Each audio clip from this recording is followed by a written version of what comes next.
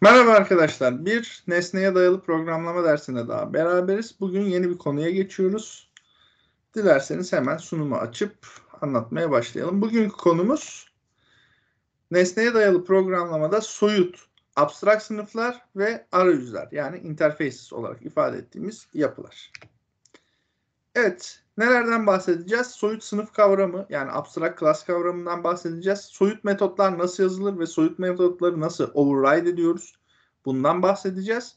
Arayüzlerden ve arayüzlerde kalıtım konusundan bahsedeceğiz arkadaşlar. Soyut, abstrak sınıf nedir? Dilerseniz bununla başlayalım. Bazı programlama yaklaşımlarında üst sınıfların direkt olarak kullanılması istenmeyebilir. Bu gibi durumlarda soyut sınıfları kullanmak bize avantaj sağlar. Soyut sınıfların amacı farklı özellikteki nesne, nesneler e, farklı özellikte sınıflar türetirken ya da farklı özelliğe sahip sınıflara ait nesneler türetilirken bir şablon oluşturulmasıdır. Yani genel özellikleri bir sınıf altında toplayıp ama o sınıftan nesne türetmemek gibi düşünebilirsiniz. Yani soyut sınıflardan nesne türetmiyoruz biz. Soyut sınıflarda tanımlanan şablonlar bu sınıfı miras alan alt sınıflarda override edilerek yeniden tanımlanır. Eğer soyut metotlar tanımlıyorsanız bir soyut sınıf içerisinde bu soyut metotlar mutlaka ama mutlaka alt sınıf tarafından override edilmek zorunda. Soyut sınıflar tanımlanırken class anahtar kelimesinden önce abstract kelimesi kullanılarak bu işlem gerçekleştirilir. Şimdi bir önceki e, sunumda yani kalıtım konusunu anlatırken ben size kişi sınıfı, işte personel sınıfı ve öğrenci sınıfı gibi sınıflar tanımlamıştım. Şimdi e, hayata baktığınız zaman da aslında yapı çok benziyor. Kişi sınıfı, herkes bir kişi mi, bir birey mi? Evet bir kişi, bir birey. Ama herkesin farklı farklı e, şeyleri de var, özellikleri de var. Örneğin işte ben ders anlatıyorum, üniversitede çalışıyorum. O yüzden ben personel olarak adlandırılabileceğim gibi. Sizin de işte üniversitede bir öğrenci olarak e, okul okumanız, bilgisayar mühendisliği bölümünde okumanız, işte e, nesneye dayalı programlama dersi almanız da yine o bireye ait farklı farklı özellikler olduğunu göstermekte. Yani burada sınıfları tanımlarken ama hepimizin de ortak özellikleri var değil mi? Burada sınıfı tanımlarken hepimizin ortak olan özelliklerini tek bir sınıf altında birleştirerek e, farklı olan özelliklerimizi de bu sınıftan, ortak sınıftan kalıttığımız alt sınıflar üzerinde inşa etmeye benzeyen bir yaklaşım olarak ifade edilebilir. Soyut sınıflar kullanılarak bir sınıftan bir nesne oluşturamazsınız. Bakın altını çiziyorum. Soyut sınıflardan nesne oluşturulmaz. Soyut sınıflar ancak kendilerinden bir alt sınıf türetmek için kullanılan sınıflardır. Bir nevi şablon ya da taslak gibi düşünülebilir. Soyut sınıflar içerisinde metot ve yapılandırıcılar kullanılabilir. Evet, soyut sınıflarda metot yazabilirsiniz. Evet, soyut sınıflarda yapılandırıcı metotlar yazabilirsiniz. Soyut sınıflar içerisindeki soyut metotlar e, soyut sınıflar içerisinde soyut metotlar tanımlanabilir. Yani abstrak metot yazabiliyorsunuz. Soyut metotların bir gövdesi yoktur ve alt sınıfta mutlaka override edilmek zorundadırlar. Eğer soyut bir sınıf içerisinde soyut bir metot tanımladıysanız bunu mutlaka ama mutlaka alt sınıfta override etmek zorundasınız. Şimdi bu söylediklerimizi bir özetle anlatalım. Bir soyut sınıf örneği. Şimdi demin dediğim e, örneğe dönecek olursak kişi özellikleri herkes için ortak değil mi? Ben mesela personelim, benim de adım soyadım, doğum tarihim, cinsiyet bilgim var. İşte sizler mesela bir öğrencisiniz. Öğrencinin de adı soyadı, doğum tarihi, cinsiyeti var. Ama benim farklı olarak işte bir ünvan, çalıştığım kurum ya da işte birim, e, sicil numaram gibi özelliklerim varken sizin de öğrenci numaranız, okuduğunuz bölüm gibi bilgileriniz var. Bunlar ikimiz için de ortak değil.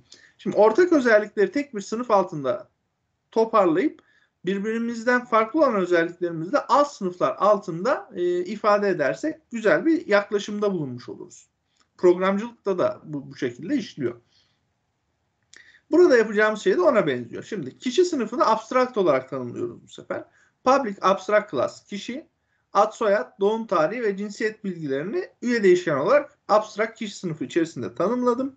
Public kişi dedim bir constructor yazdım. E, parametre alan. Daha sonra işte get ad soyad, set ad soyad gibi tanımlamalar yaptık. Bir tane de abstract metot yazdım. Public abstract void kişi bilgileri. Kişi bilgileri adında bir abstract metot yazdım ve bu metodun dikkat ederseniz gövdesi yok arkadaşlar. Gövdesiz bir metot yazdım. Bakın metodun Parantezini açtım kapattım. Süslü parantezlerle bir gövde, metoda bir gövde oluşturmadan kapattık. Soyut metotların dediğim gibi hiçbir zaman gövdesi olmaz. Yine soyut sınıflar abstrak kelimesiyle tanımlanırlar. Abstrak class olarak tanımlanırlar. Ve soyut sınıflardan nesne yaratamazsınız. Evet. Soyut sınıf kullanılan bir alt sınıf. Soyut sınıflar da aynı e, normal sınıflar gibi alt sınıflar e, tarafından miras alınabilir. Örneğin public class öğrenci, öğrenci sınıfı normal bir sınıf. Öğrenci sınıfı extends kişi. Kişi soyut sınıfın tarafından extend edilmiştir. Long, öge, reno, string, bölüm gibi bilgileri var. Public öğrenci, ad soyad, doğum tarihi, cinsiyet, öğrenci no, bölüm bilgilerini alıyoruz arkadaşlar. Süper metodu biliyorsunuz üst sınıfa ait yapılandırıcı metodu çağırıyordu. Bizim soyut sınıfımızda da parametre 3 parametre alan bir yapılandırıcı metodumuz var. Doğal olarak süper metoduyla üst sınıfın yapılandırıcısına ad soyad doğum tarihi cinsiyet bilgilerini gönderdik. Bu sınıfa ait de öge reno ve bölüm üye değişkenlerin değerlerini almış olduğumuz parametrelerle e, atama işlemini gerçekleştirmiş olduk. Ardından bakın override ettik. Niye override ettik? Kişi bilgileri metodunu override ettik. Public void kişi bilgileri. Bu metot neden override edildi? Çünkü bir üst sınıfta soyut e, kişi sınıfında bir abstract void kişi bilgileri metodu vardı ve abstract metotlar kalıtıldığı sınıf tarafından mutlaka ama mutlaka override edilmek zorundadırlar demiştik. Burada da hemen override işlemini gerçekleştirdik. Bir main metodu içerisinde de bu kişi bilgilerini ekrana göstermiş olduk. Hmm. Soyut metotların override edilmesi. Bu kısmı da anlatayım. Ondan sonra e, örnek üstünde bu söylediklerimizi tek tek yazarak bir daha işleyeceğiz. Öncelikle örneğe dikkat edecek olursak kişi soyut sınıfından öğrenci adında bir alt sınıf türettik. Kişi sınıfında tanımlı olan public abstract void kişi bilgileri soyut metodu öğrenci sınıfı içerisinde override edilerek yeniden tanımlandı. Soyut metotları aynı soyut sınıflar gibi alt sınıf içerisinde tanımlanmadan kullanılamazlar.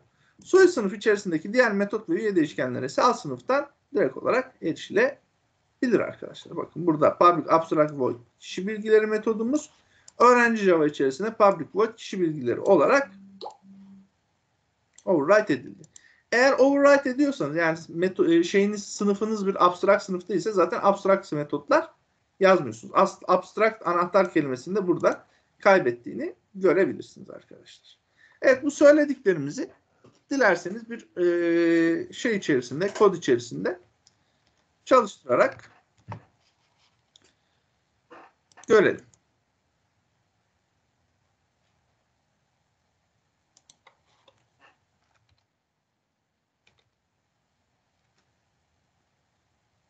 Soyut diye bir paket oluşturuyorum. Soyut paket içerisinde soyut sınıf ve arayüzleri işleyeceğiz. Burada bir kişi sınıfı oluşturacağım. Bu kişi sınıfının abstract olmasını istiyorum. Bakın burada anahtar kelime de ekleyebiliyorsunuz. Otomatik olarak public abstract class kişi deyip kişi sınıfını abstract bir class olarak oluşturdum. Public string ad soyad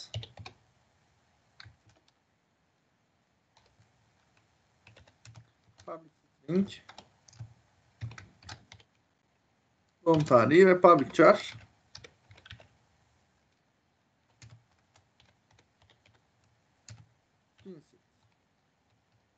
bir soyut kişi sınıfı oluşturdum arkadaşlar. Şimdi büyüteyim. Evet. Şimdi bu kişi sınıfına ait bir yapılandırıcı metot yazacağım. Public diyeceğim. Parametre alan bir yapılandırıcısı olsun. İsterseniz boş da yapabiliyorsunuz ama ben parametre alan bir yapılandırıcı kullanmak istiyorum sadece.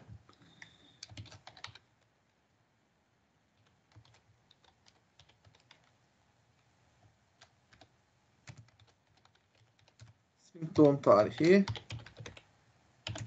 char cinsiyet adında 3 adet de parametremi oluşturdum sevgili arkadaşlar. Şimdi devam edecek olursak bu 3 parametreyi oluşturduk. Oluşturmuş olduğumuz bu parametreleri ne yapmamız lazım? Üye değişkenlerime tabii ki atamamız lazım. This nokta ad soyad değeri almış olduğumuz ad soyad parametresi this nokta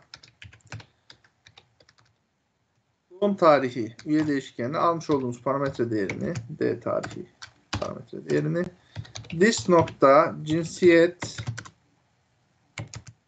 üye değişkenimize almış olduğumuz cinsiyet parametresini atadık. Evet. Yapılandırıcı metodumuzu da yazdık. Yapılandırıcı metoda sahip olabilirler. Bakın soyut sınıflar yapılandırıcı metoda sahip olabilirler. Bunda hiçbir mahsur yok. Fakat soyut metotlardan yapılandırıcı metoda sahip olsalar dahi nesne üretemezsiniz. Yani abstrakt metottan bir nesne üretmek mümkün değil arkadaşlar. Şunları da küçültelim bir taraftan. Evet. Bunu birazdan deneyeceğiz zaten. Üretmeyi deneyeceğiz ve olmadığını göreceğiz. Abstract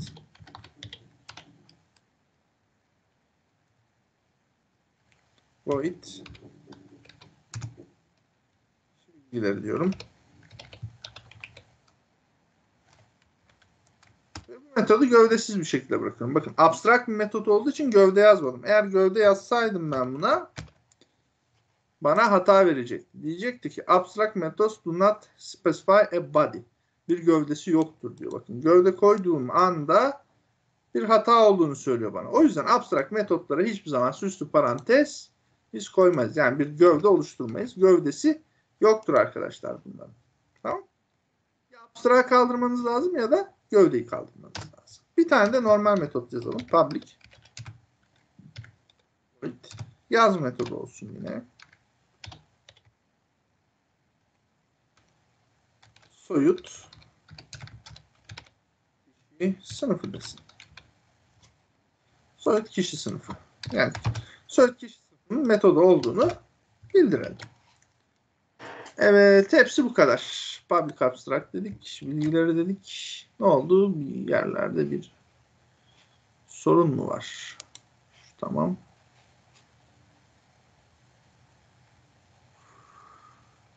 Evet. Sanırım bir yerlerde bir, evet şurada bir hatamız var.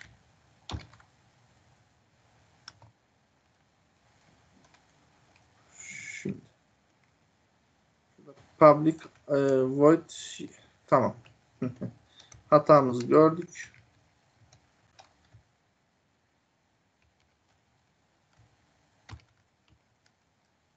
Gövdenin içine almam lazım. Sistem alt nokta printline deyip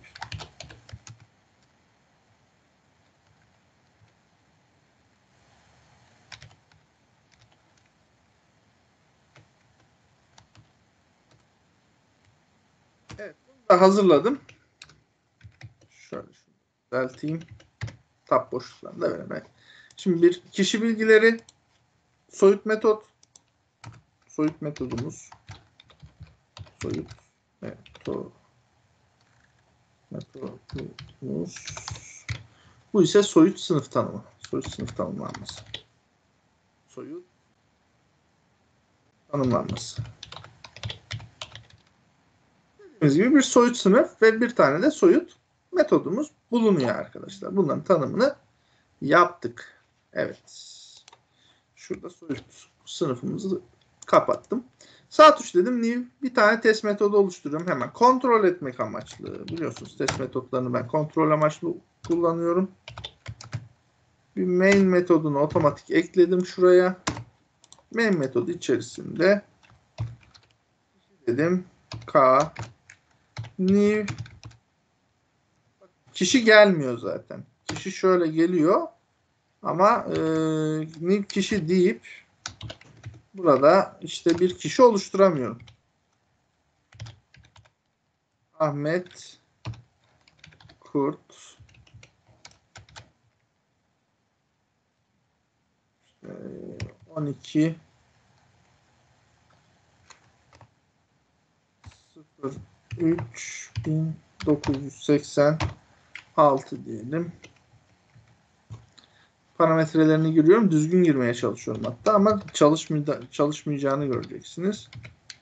Hemen şöyle girdim. Fakat bu kişinin cannot initialize the type kişi olarak bu uyarı verdiğini görüyoruz. Bunun sebebi arkadaşlar kişi sınıfındaki K nesnesinin bir soyut e, sınıftan türetilmeye çalıştı. Soyut sınıftan nesne türetemeyiz. Yani şu satır çalışmayacaktır.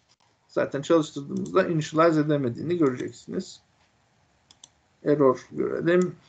Anzo cannot initialize type kişi. Bunu yapamıyorum diyor. Yani bu mümkün değil diyor. Soy sınıftan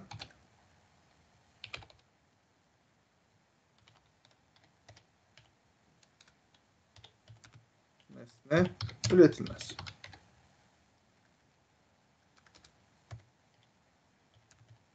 Nesne üretemeyiz. Oluşturamayız. Evet. Bir soyut sınıftan nesne oluşturmamız mümkün değil sevgili arkadaşlar. O yüzden alt satır çalışmıyor. Yani şu satırımızın biz çalışmadığını görüyoruz. Eğer soyut olmasaydı kişi sınıfımız kişi sınıfı abstrakt olmasaydı sevgili arkadaşlar bu durumda tabi abstrakt metot yazamayacaktık. Şurayı bir açıklama satırına çevireyim. Bu durumda o nesnenin şuradaki nesnemizin oluştuğunu görecektiniz. Herhangi bir sorun yok. Şu anda bir sorun yok. Ama kişi sınıfındaki nesnemiz abstrakt olduğu anda yani şuradaki abstrakt kelimesi geri geldiği anda sevgili arkadaşlar artık test sınıfında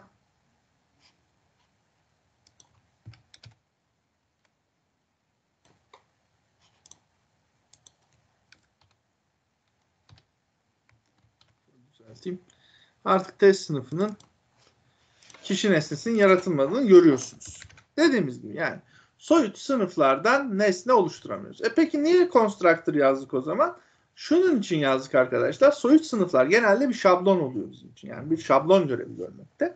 Şimdi şablon görevi gören bir nesnede constructor yazmamızın sebebi bu şablondan oluşturacağımız yeni sınıflarda bu constructor'ı kullanabilmek. Biliyorsunuz biz alt sınıflarda kalıtım yoluyla ürettiğimiz yeni sınıflarda üst sınıfın constructor'ını kullanıyoruz. Tek tek her sınıfta bu constructor yazmak yerine abstract sınıfta bir kez yazalım ve türettiğimiz alt sınıflarda bu constructor'ı kullanarak işimizi kolaylaştırır. Mevzu o. Başka bir şey değil. Evet. Devam edelim şimdi. Bakın nesne oluşturamadım.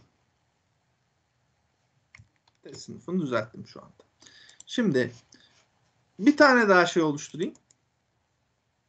Klas oluşturayım. Öğrenci olsun da. Farklı paketlerde çalıştığım için bir sorun yaşamıyorum arkadaşlar. Öğrenci sınıfı daha oluşturuyorum. Öğrenci sınıfı extend edecek. Neyi extend edecek? Kişi soyut sınıfını extend edecek. Bunu dediğim anda bakın otomatikman bana hemen uyarı geliyor. Diyor ki unimplemented metotlar var. Bunları override etmen lazım. Ve bir constructor eklemen gerekiyor. Diyor. Otomatik olarak constructor'ı da benim için ekledim. Bakın öğrenci sınıfında ad, soyad, doğum tarihi ve cinsiyet değerlerini otomatik olarak aldı. Almış olduğu bu constructor'ları üst sınıfın constructor'ını çağırdı. Ad, soyad, doğum tarihi, cinsiyet şeklinde. Bunu atamasını yaptı ve abstract olarak tanımlanan kişi bilgileri metodunu burada hemen override edip gövdesini oluşturdu. Abstract olarak yapabilir miyim peki? Normal sınıflar içinde abstract metot tanımlayamazsınız arkadaşlar. Sadece abstract sınıflar içinde abstract metotlar tanımlayabilirsiniz. Bunu da denemiş olduk. Müsaade etmiyor.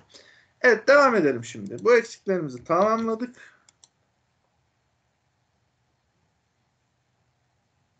Evet şu abstract kaldıralım. Abstract olmayacak burada. Evet şu anda düzgün bir şekilde çalışabildiğini görüyorsunuz. Tabi kişi sınıfından türettiğimiz öğrenci sınıfına birkaç tane de üye değişken eklemek istiyorum ben. Public bölüm public long öge Renault.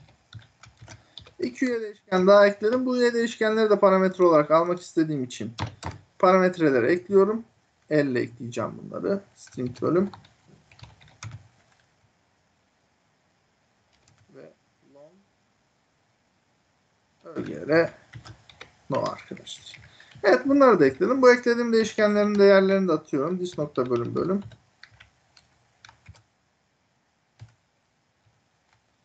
Bölüm parametresini bölüm üye değişkenine dis nokta Göreno üye değişkenime de almış olduğum ögr no parametresini atadım arkadaşlar. Constructor'ım da hazır. Bir adet constructor yazdım.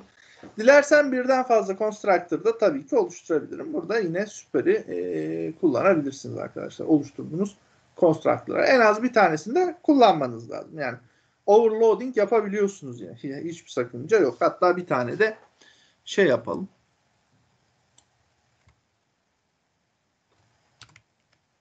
Overloading yapalım. Burada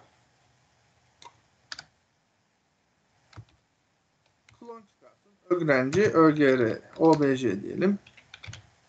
Bir nesne referansı olsun. Tabi OBJ aldığı için OBJ nokta ad soyad, OBJ nokta tarih ve OBJ nokta cinsiyet olarak bu atamaları gerçekleştirmemiz lazım. Bölüme obj nokta bölüm. ögereno'ya da obj nokta ögereno şeklinde bir atama yapmamız gerekiyor. Yani nesne referansını alıp üye değişkenlerimizi atadık. Yani klon çıkarttık. İki tane de e, şey oluştu. Constructor oluştu. Kişi bilgileri dedim. Burada da işte dolduralım için istersen sistem nokta out nokta line öğrenci sınıfı diyelim.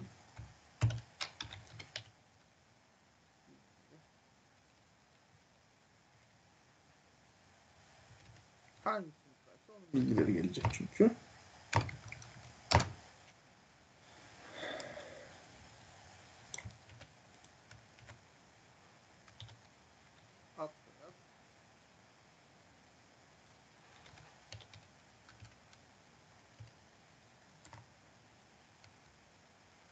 Ya da süper de diyebilirsiniz. Süper nokta at soyad. Kapatalım metodumuzu.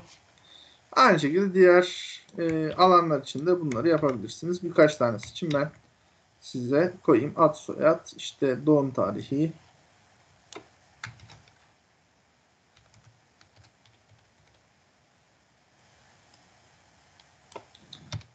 tarih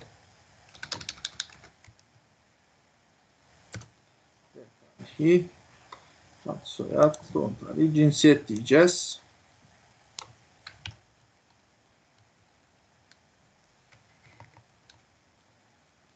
Bunu dikkat ederseniz hepsini public verdiğim için burada artık e, encapsulation'la takılmıyorum. Cinsiyet deyip bunları alabilirsiniz. Onun dışında bölüm ve ÖGRNO değerlerini de verelim. Bölüm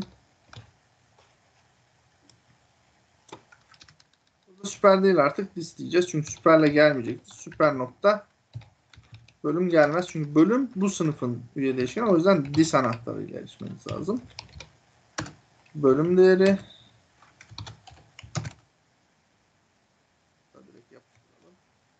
öğrenci numarası diyelim.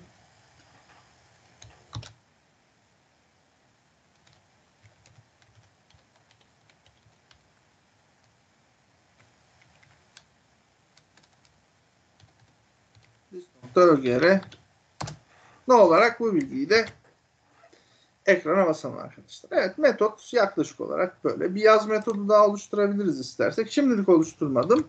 Abstract metot, abstract sınıfın metotlarını kullanabileceğimizi görmenizi istediğim için bunu yapmadım. Test sınıfına geçtiğimde ee, şimdi bir öğrenci oluşturalım.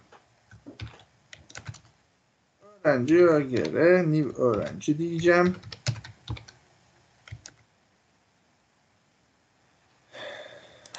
Şu bilgileri aynen olduğu gibi alıyorum. Cinsiyete kadar kısmı. Bunları yazıyorum arkadaşlar. Bölümünü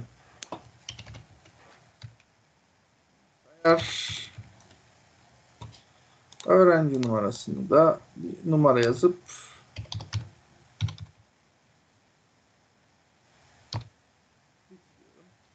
daha sonra geliyorum end diyelim.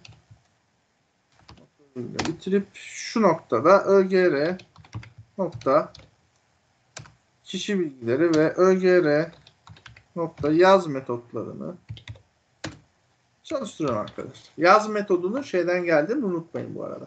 kişi sınıfından geldiğini unutmayın. Çalıştırdığımda soyut kişi sınıfı işte öğrencinin de öğrenci bilgileri deyip e, öğrenci bilgilerinin geldiğini görebilirsiniz. Dilersek yine e, aynı normal sınıflarda olduğu gibi öğrenci sınıfında da yaz metodunu override edebiliriz. Onu da belirtebilirsiniz burada annotation'da override deyip. Public void yaz metodunuz. Overload da edebilirsiniz. Dilerseniz burada bir de overload edelim yaz metodunu. String msg mesaj deyip bir mesaj alalım. Almış olduğumuz bu string mesajı ekrana basalım. Bakın. iki tane. Yani bu e, şeyi göstermeye çalışıyoruz. Burada yaptığımız yine overwrite değil overload yapıyoruz şu anda. Overload işlemi. Yaz metodunun overload yaptığını göstereceğiz. Çünkü içine parametre aldı. Üst sınıfta boş gelirse e, boş abstract kişi metodu eğer içine string msg dediğimiz mesaj karakteri gelirse system.out diyeceğim hatta zaten. Hatta vardı hazırda onu şey yapalım. Yokmuş. Şu kısmı kopyalayayım arkadaşlar. Bir daha yazmakla uğraşmayalım. Şurada almış olduğum mesajı direkt ekrana bassın. String bir mesaj alsın ve ekrana o string mesajı bassın. Burada da overload yapmış olduk. Ne oldu? Bir şeye kızdı. Yani MS G olması lazım. Çünkü J değil. Evet, MS J değil. MS G. Evet, test metoduna geldim. ÖGR nokta yaz. Ve tekrar şu noktada sevgili arkadaşlar ÖGR nokta yaz metodunu çalıştırıyorum. Bakın burada artık içine mesaj. Bunun da işte öğrenci diye çalışıyor. Burada da yine ne yapmış olduk arkadaşlar? Bir override mekanizması çalıştırmış olduk sevgili arkadaşlar. Override diyorum özür dilerim. Overload mekanizması. Sınıflar arası bir overload mekanizmasını nasıl çalıştığını sizlerle paylaşmış olduk. Gördüğünüz üzere burada bakın öğrenci sınıfı diğerinde soyut kişi sınıfı şeklinde çalışıyor. Override de yapabilirdik. Ben burada overload yapmayı e, tercih ettim. Sınıflar arası da overload yapabilirsiniz. Yani bir metot başka alt sınıfın başka bir metodu tarafından overload edilebilir. Bunda herhangi bir sakınca da yoktur arkadaşlar. Soyut metotlarda overriding, overloading e, işlemleri bu şekildeydi. Şimdi bakalım başka e, söylemem gereken bir şey var mı? Overload ettik. Soyut sınıflardan alt sınıfların tanımlanması, nesneleri gösterdik. Evet, genel olarak bu şekilde arayüzlerden de biraz bahsedelim. Daha sonra zaten öğlen arasına geçeceğiz. Arayüzlerde arkadaşlar aynı soyut sınıflar gibi genelde bir şablon taslak oluşturmak için kullanılırlar. Arayüzler yani interfaces diye ifade ediliyor. Bunlar class değildir bu arada. Interface'ler daha farklıdır. Arayüzler yani interface'ler bazı yönlerden soyut sınıflara çok benzerler. Arayüzler soyut sınıflardan farklı olarak bütün metotlar gövdesiz olarak tanımlanır. Şimdi arayüzler soyut sınıflardan daha sade bir şekilde tanımlanıyorlar. Arayüzlerde herhangi bir şeyin gövdesi yok. Herhangi bir kod bloğunun işte bir metot olabilir bu ya da başka bir şey olabilir. Herhangi bir şeyin gövdesi yok. Arayüzlerde üye değişken tanımlamıyorsunuz arkadaşlar. Arayüzler içerisinde üye değişkenler tanımlanmaz. Arayüzler bir sınıfın bir işi nasıl yapacağını değil, bu işi yaparken hangi metotları kullanması gerektiğini tanımlar. Yani soyut metotlarda bir sınıf tanımı yapıyorken arayüzlerde bir sınıf tanımı yapmayız. Arayüzler sadece bir sınıf içerisinde bulunması gereken bize e, şeyleri veriyor. Ne derler ona? Hangi metotların kullanılması gerektiğini bize bildiriyor. Arayüzler içerisinde tanımlanan değişkenler public static final olmalıdır. Genelde arayüz içerisinde biz değişken tanımlamayız. Sadece ve sadece sabitler tanımlarız. Bu yazmış olduğumuz e, sabitler e, ismi public static final olmasa dahi public static final olarak tanımlanırlar arkadaşlar.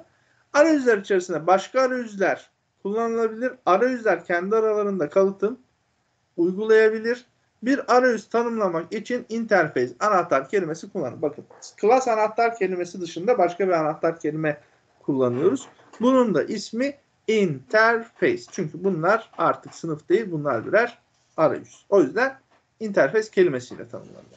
Basit bir arayüz örneği vermişiz burada. Public interface çalışan.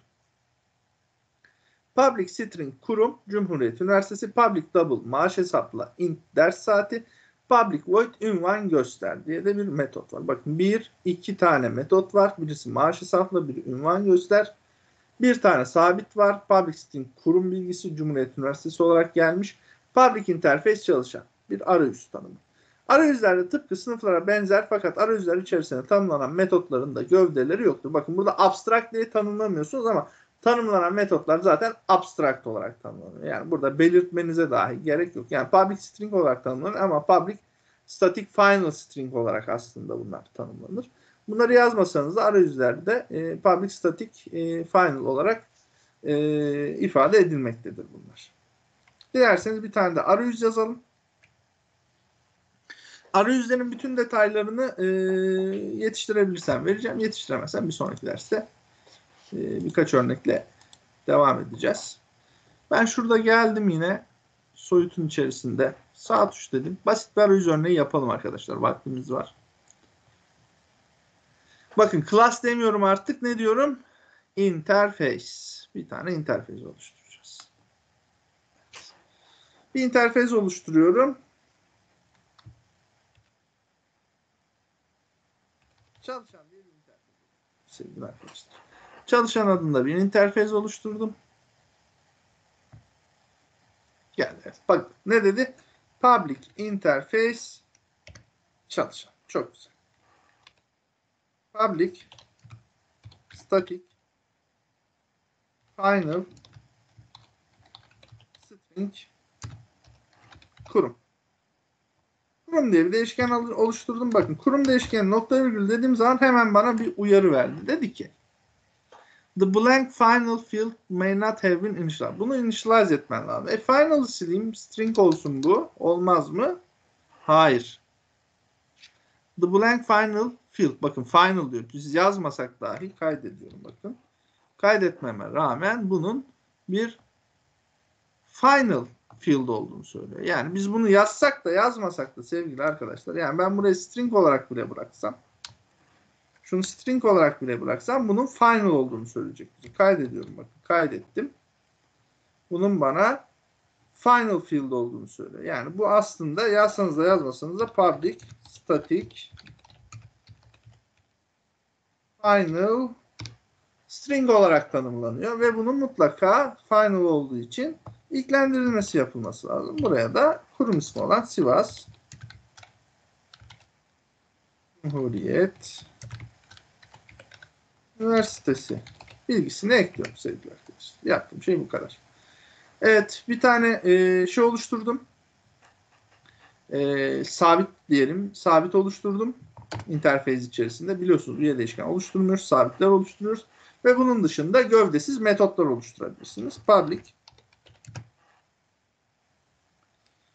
e, maaş hesaplı diyelim. Maaş hesapla ya da e, çalışan olduğu için evet maaş hesapla diyelim. Maaş hesapla metot olsun. İçerisine de int saat deyip bir parametre alsın. Geri dönüş değeri de saat değeri olsun. Double bir geri dönüş değeri olan bir metot olsun. Bunlar da yazılmasa dahi abstrakt olarak tanımlanırlar sevgili arkadaşlar. Yani bunlar aslında public abstract double maaş hesapla gibidir. Ama yazmasanız da bunlar abstraktır. Yani hiçbir şeyin gövdesi olamıyor sevgili arkadaşlar. Bir interfez içinde hiçbir metodun gövdesi bakın gövde koyduğum anda hemen beni uyarıyor. Diyor ki abstract method do not have a body. Bakın abstract metot diyor. Abstract yazmama rağmen Bunların abstrakt olduğu ön tanımlı olarak geliyor. İnterfeys çünkü. İnterfeyste bir şeyin gövdesi olmaz. Zaten interfeysler genelde küçüktürler.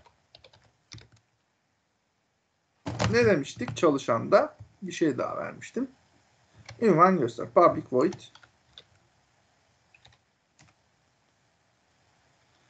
Ee, personel diyelim.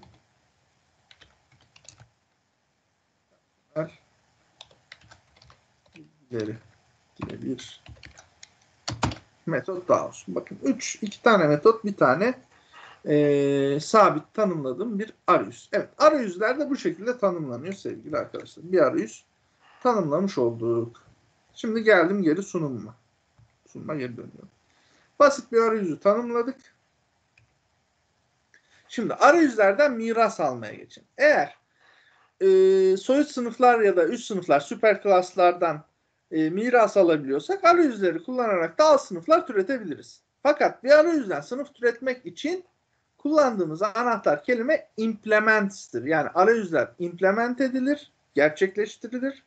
Soyut sınıflar ve sınıflar extend edilir. Miras alınır. Burada implement anahtarını kullanıyoruz. Çünkü bu bir class değil, interface. Interface'ler implement edilir, class'lar extend edilir arkadaşlar. Bu şekilde kullanılan arayüzün bir örneği oluşturulur. Türetilen alt sınıfta mutlaka arayüz içerisinde tanımlanan metotlar override edilerek tekrar oluşturulmalıdır arkadaşlar. Burada bir arayüzden sınıf kalıtımı var. Personel diye bir sınıf tanımlamışız. Bu personel sınıfı kişi sınıfını extend ediyor. Aynı zamanda çalışan sınıfını da implement ediyor sevgili arkadaşlar. Bakın hem extend ediyor hem de implement ediyor. Yani bir alt sınıf bir tane süper sınıfı extend ederken aynı anda başka bir arayüzü de implement edebilir. Yani hem kişi sınıfının alt sınıfı hem de çalışan arayüzünün alt sınıfı gibi davranmakta. Public personel deyip orada işte yapılandırıcı metodunu yazmışız. Ee, daha sonra kişi bilgileri, maaş hesapla ve ünvan göster metotlarının da override edildiğini burada görebilirsiniz. Main metodu içerisinde de bunun kullanımına dair bir örnek bulunmakta arkadaşlar. Şimdi bir personel sınıfı da biz yapalım o zaman. Biliyorum biraz sıkıldınız sınıf oluşturmaktan hep e, kişi, personel, öğrenci ama akılda kalıcı olduğu için e, bu şekilde gitmekte fayda var. Yine personel diyorum. Şimdi sevgili arkadaşlar personel sınıfının içerisinde bir main metodu olmasın gerek yok. Main metodu olmasın. Test metodum var zaten. E, finish diyorum. Oluşturuyorum. Şimdi personel metoduna geldim arkadaşlar. İlk önce extend sonra implement. İlk önce implement değil. Bakın ilk önce extend etmeniz gerekiyor kişi sınıfını. Daha sonra da implement etmeniz gerekiyor. Çalışan arayüzü. Bunu yaptıktan sonra otomatik olarak zaten size söylüyor. Diyor ki unimplemented metotlar var. Ekleyeyim mi diyor. Ekle diyorum. Bakın maaş hesapla, personel bilgileri ve kişi bilgilerini tık tık tık ne yaptı? Getirdi. Maaş hesapla ve personel bilgileri çalışan arayüzünden geldi. Kişi bilgileri ise kişi sınıfından, kişi soyut sınıfından geldi arkadaşlar. Bunları implement etmemiz lazım. Constructor eklemen gerekiyor diyor. Tamam diyorum onu da ekle diyorum. Public personel string ad soyad, doğum tarihi, çağrı cinsiyet dedi. Burada e, ünvan ve birim ekleyelim sadece. Public string ünvan diye değişkenim. Bir de public string birim diye iki tane üye değişken ekleyeceğim. Çok uzatmayacağım. Hemen şu noktadan şu iki üye değişkenini de ekliyorum. Küçük yazmasak keşke şöyle. Düzeltelim onları. Bak yazım hataları yapmıştık. Onları düzelttim. String dedim arkadaşlar. Ünvan. String dedim. Birim. Evet, bu iki tane üye değişkeni de aldım. Hemen ilgili yerlere şu açıklama satırını iptal edeceğim. Buraya this nokta ünvan eşittir. Ünvan this nokta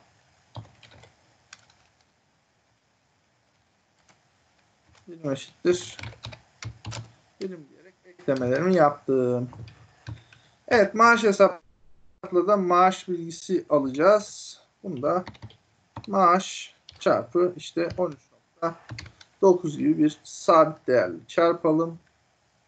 Şey e, saat değerini saat parametreleri bu maaş hesabı olarak gelsin. Personel bilgilerinde şeyde e, olan özelliği öğrenci sınıfında olan birçok özelliği şurada da alacağız arkadaşlar. Evet, bunu aldım. Yine personel sınıfına geldim. Orayı hızlı doldurmak açısından hem süremiz de azaldı. Ee, burada copy paste yapıyorum. Burada farklı olarak ne var? This nokta ünvan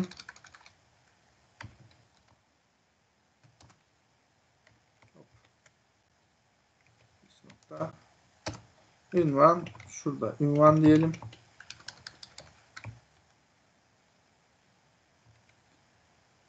This nokta bilgileri gelsin.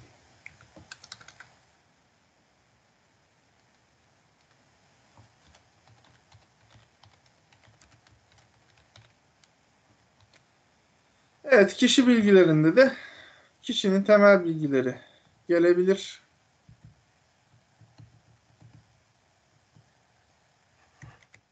Bilgileri kişi bilgisi içerisinde sadece kişinin bilgilerini göstermek adına kişi bilgileri diyelim.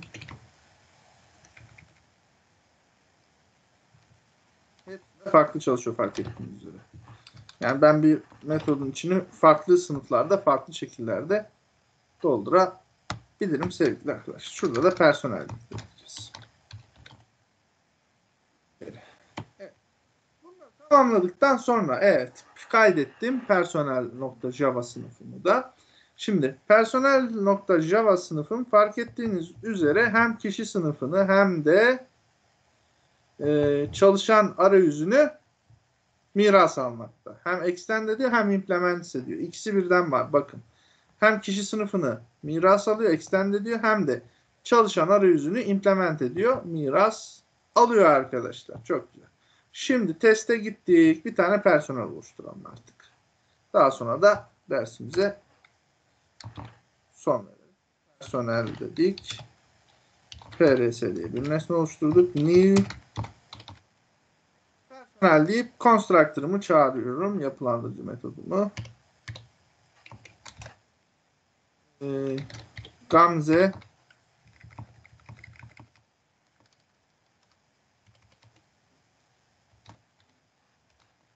Gamze Şeker diye bir şey yapalım. Pardon şöyle. Evet, buraya yazalım. Gamze Şeker diye bir bayan personelimiz olsun. Doğum tarihini yazalım.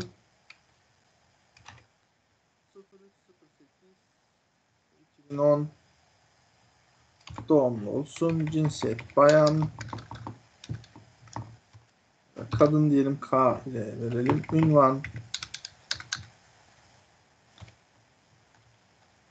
doktor olsun DR. Birimi de cerrahi. Cerrahi biriminde görev yapıyorsun arkadaşlar. PRS'nin artık personel bilgileri ya da PRS'nin artık basabiliriz. Çalıştırdığımız zaman sevgili arkadaşlar bu nesnelerin bu nesnenin personel bilgilerine personel bilgisi kişi bilgilerine ad soyad sadece doğum tarihi bilgilerinin geldiğini görebilirsiniz arkadaşlar. Evet metotları farklı farklı kullandık. Yaz metodu yazabilirdim burada da. Ee, ama e, gerek yok. Zaten kişi Java'da yapmıştık overloading olarak. İstersek burada override da yapabiliriz. O tamamen bizim isteğimize kalmış. Arayüzlerin genel e, kullanımı da bu şekilde özetlenebilir arkadaşlar. Dediğim gibi bir arayüz tanımlamak için ilk başta implement anahtar kelimesini kullanıyoruz. Çalışan Java'da olduğu gibi e, şey interface anahtar kelimesini kullanıyoruz. E, arayüzler içerisinde tanımlanan e, değişkenler sabit olarak tanımlanıyor. Değişken değil. E, bunlar static file'ın anahtar kelimesi alıyorlar.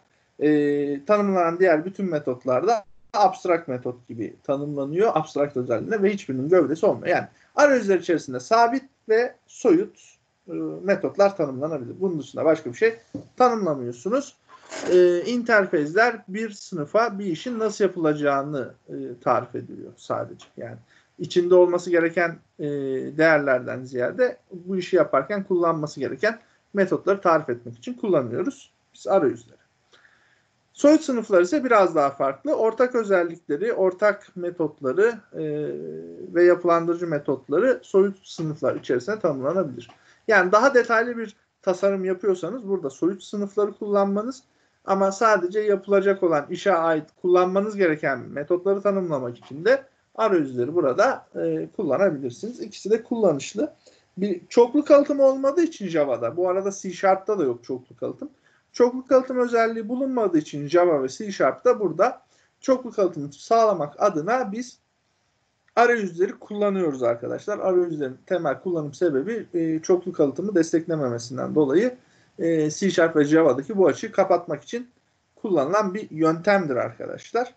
Burada e, dersimize ara verelim. Öğleden sonra 2 e, saat daha dersimiz var. Öğleden sonraki derslerde e, arayüzlere daha yakından bakmaya devam edeceğiz. Hepiniz kendinize iyi bakın. Hoşçakalın arkadaşlar.